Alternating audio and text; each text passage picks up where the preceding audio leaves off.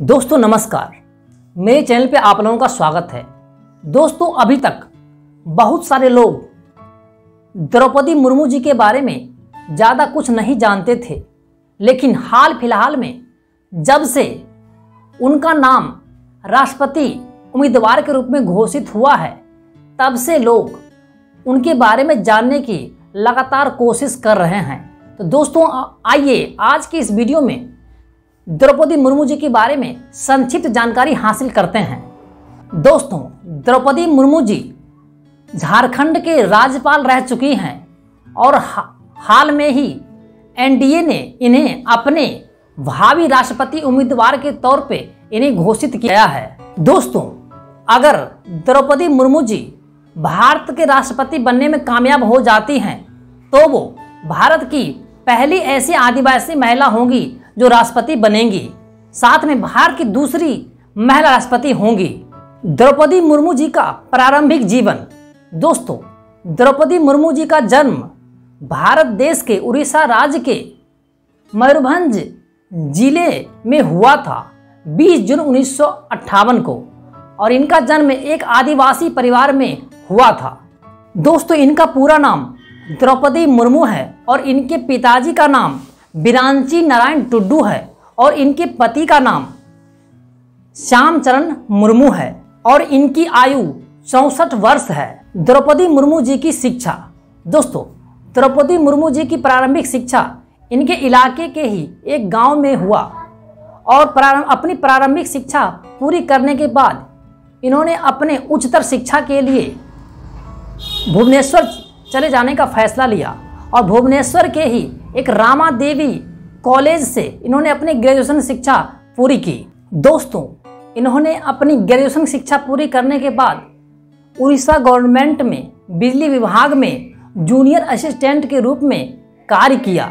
इसके बाद दोस्तों, इन्होंने उन्नीस सौ चौरानवे में राय रंगपुर में स्थित अरविंदो इंटीग्रल एजुकेशन सेंटर में एज ए टीचर एक शिक्षक के रूप में उन्नीस सौ सत्तानवे तक कार्य किया। उन्नीस के बाद इनका राजनीतिक कैरियर स्टार्ट होता है। दोस्तों, साल उन्नीस में पहली बार ओडिशा के राय रंगपुर ज़िले से ये जिला पार्षद चुनी गई। इसके साथ ही दोस्तों, साल 2002 से साल 2009 तक मयूरभंज जिला से भाजपा अध्यक्ष के रूप में इन्हें मनोनीत किया गया। इसके अलावा दोस्तों, इन्हें साल 2002 से साल 2009 तक भाजपा के जिला अध्यक्ष बनने का भी मौका मिला। आइए दोस्तों, अब उनके राजनीतिक जीवन के बारे में कुछ बातचीत कर लेते हैं। दोस्तों, इन्होंने साल 2000 से 2004 तक उड़ीसा गवर्नमेंट में ट्रांसपोर्ट और वाणिज्यिक विभाग में अपना सेवा दिया। दोस्तों, इन्होंने साल 2002 से 2004 तक उड़ीसा गवर्नमेंट के मत्स्य पालन पशुपालन और राज्य मंत्री के तौर पर भी सेवा दिया। दोस्तों, इन्होंने भारतीय जनता पार्टी, एसटी मोर्चा के प्रदेश अध्यक्ष का पद भी 2006 से 2009 तक संभाला। दोस्तों 2013 से 2015 तक इन्होंने भारतीय जनता पार्टी, एसटी मोर्चा और भारतीय जनता पार्टी राष्ट्रीय अनुसूचित जाति कार्यकारिणी समिति के सदस्य के रूप में कार्यरत रहे।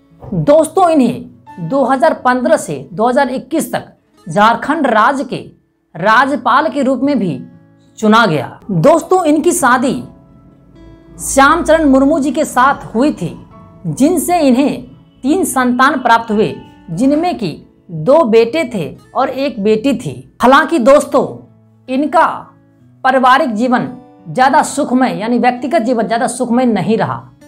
इनके पति और दोनों बेटे आज इस दुनिया में नहीं है। दोस्तों, द्रौपदी मुर्मू जी को साल 2007 में नीलकंठ पुरस्कार मिला सर्वश्रेष्ठ विधायक के लिए ओडिशा विधानसभा क्षेत्र से। दोस्तों, इस प्रकार अगर द्रौपदी मुर्मू जी राष्ट्रपति बन जाती हैं तो उनके लिए और हमारे लिए काफ़ी गर्व की बात होगी, क्योंकि भारत में पहली आदिवासी महिला राष्ट्रपति बनने जा रही हैं वो। तो दोस्तों, हम उन्हें अग्रिम बधाई देते हैं राष्ट्रपति बनने की। और दोस्तों, ये छोटी सी संक्षिप्त जानकारी थी द्रौपदी मुर्मू जी के बारे में। ये जानकारी आपको कैसी लगी? कमेंट बॉक्स में ज़रूर बताइएगा। साथ में वीडियो अच्छा लगा तो लाइक कीजिए, शेयर कीजिए, ज़्यादा अच्छा लगा तो। और दोस्तों, चैनल को सब्सक्राइब कर लीजिए, साथ में बेल आइकन घंटे को दबाना बिल्कुल भी मत भूलिएगा। तो दोस्तों, मैं मिलता हूँ अगली वीडियो में। तब तक के लिए धन्यवाद।